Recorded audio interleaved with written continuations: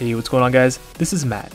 While most standard Mac apps look really nice in Yosemite, other third-party apps you download might not match that same design aesthetic you like them to. But today, I'm going to show you how to change any icon on your Mac in just a few easy steps. This will allow you to customize all your icons just the way you like. So, let's get started.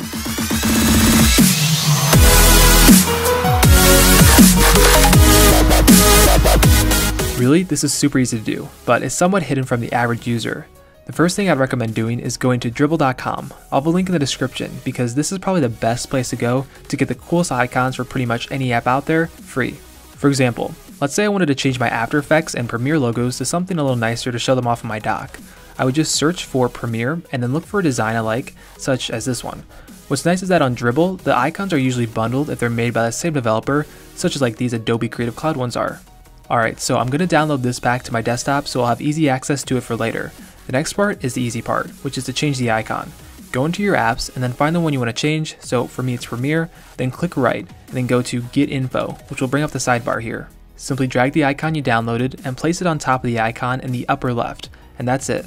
You can do this for every app you've installed, as well as for folders and hard drives too.